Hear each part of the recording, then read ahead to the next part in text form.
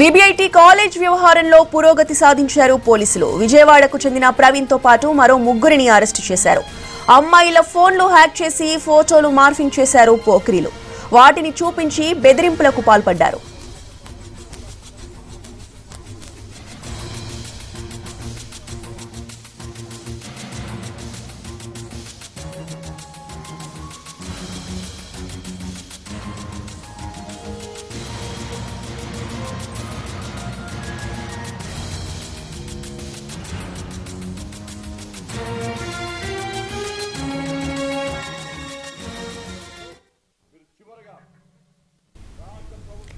VBIT college వ్యవహారంలో పురోగతి సాధించారు పోలీసులు. విజయవాడకు చెందిన ప్రవీణ్తో పాటు మరో ముగ్గురిని అరెస్టు చేశారు.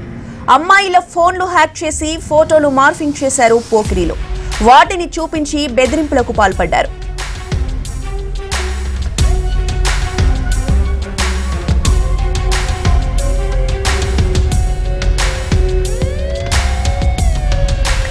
ఇక విబిఐటి కాలేజ్ వ్యవహారంలో పోలీసుల పురోగతికి సంబంధించిన పూర్తి డీటెయిల్స్ని మా ప్రతినిధి రమేష్ వైట్ల అందిస్తారు. రమేష్ వైట్ల.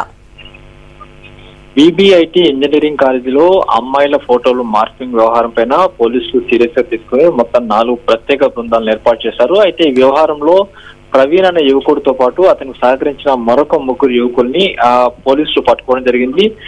గట్కేసర్ పోలీసులు కేసు నమోదు చేసి ఇందులో మొత్తం నలుగురిని పట్టుకున్నట్టుగా ప్రకటించారు. దీనికి సంబంధించి కూడా అధికారికంగా Rachakonda police commissioner DS Chauhan కూడా ప్రెస్ మీట్ పెట్టి పూర్తి వివరాలు కూడా వెల్లడించే అవకాశం ఉంది అయితే గత వారం రోజుల నుంచి కూడా అమ్మాయిల ఫోటోలను మార్ఫింగ్ చేసి అయితే వాట్సాప్లో ఉన్న డీపీలను ఫోటోలు డీపీ ఫోటోలు పికప్ చేసి ఆ ఫోటోలని మార్ఫింగ్ న్యూడ్ ఫోటోలుగా మార్ఫింగ్ చేసి వాటిని వాట్సాప్ గ్రూపుల్లో పోస్టింగ్ చేసి తర్వాత వీడియో లింక్ ద్వారా ఆ వాట్సాప్ చాటింగ్ చేయడం కావచ్చు. వీడియో లింకుల ద్వారా ఆ అమ్మాయిలను వేధించే చేసిన మొత్తం యువకులకు సంబంధించి వ్యవహారం ఇప్పటికే సంచలనం సృష్టించింది. దీనికి సంబంధించి కాలేజీ యాజమాన్యం ఇచ్చిన ఫిర్యాదు మేరకు అటు పోలీసులు కేసు నమోదు చేశారు. అయితే మూడు రోజులుగా ఈ దీనిపైన వర్కౌట్ చేస్తున్న పోలీసులకు చివరికి ప్రవీణ్ అనే యువకుడితో పాటు మరో ముగ్గురిని పోలీసులు అదుపులో తీసుకోవడం జరిగింది. దీనిపైన ఇంకా సమగ్ర దర్యాప్తు కూడా చేస్తాం. దీని వెనకాల ఎవరైనా ఉన్నారా? ఏదైనా కుట్రకోణం దాగి ఉందా అనే కోణంలో కూడా విచారిస్తామని అధికారులు చెప్తున్నారు. Right thank you Ramesh Vaitla